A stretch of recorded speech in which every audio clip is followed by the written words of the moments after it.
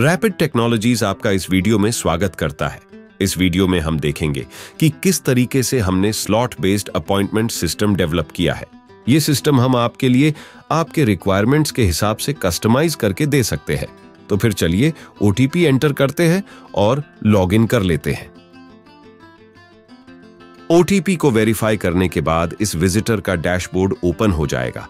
और अगर ये विजिटर फ़र्स्ट टाइम रजिस्टर कर रहा है तो इसे अपना नाम एंटर करना होगा। आसानी से विजिटर का रजिस्ट्रेशन हो जाता है। डैशबोर्ड पे कई सारे स्लॉट्स देखने मिल जाएँगे। ये स्लॉट्स ओनर अपने एडमिन पैनल से क्रिएट कर सकता है।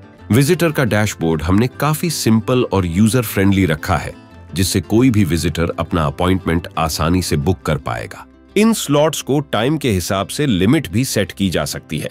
और जिस स्लॉट को उतने अपॉइंटमेंट्स आ जाते हैं, फिर विजिटर को दूसरा स्लॉट का अपॉइंटमेंट बुक करना पड़ेगा।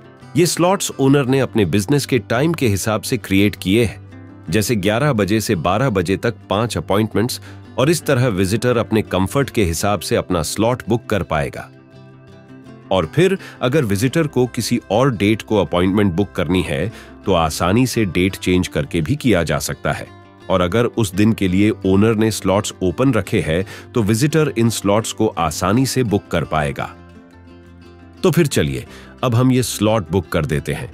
कोई भी स्लॉट बुक करना बहुत आसान है। इस अपॉइंटमेंट के लिए साथ में कितने लोग आने वाले हैं एंटर कर दो और मेक अपॉइंटमेंट बटन पे क्लिक कर दो। आपकी अपॉइंटमेंट सक्सेसफुली बुक हो जाएगी। और इस अपॉइंटमेंट के डिटेल्स तुरंत ओनर को अपने एडमिन पैनल में देखने मिल जाती है। और विजिटर को भी यहाँ पे तुरंत अपना बुकिंग स्टेटस भी देखने मिल जाता है। और फिर आप यहाँ देख पाएँगे कि लिमिट में भी अब एक से इंक्रीमेंट हो चुका है और विजिटर को हमेशा अपनी लास्ट अपॉइंटमेंट डेट भी देखने मिल जाती है।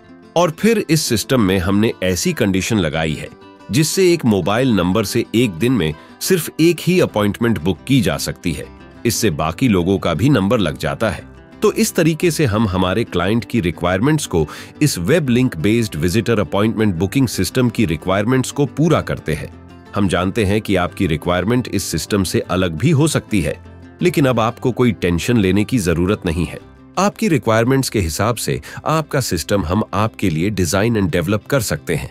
अगले वीडियो में हम देखेंगे कि किस तरीके से ओनर का एडमिन पैनल रहेगा easy and simple to use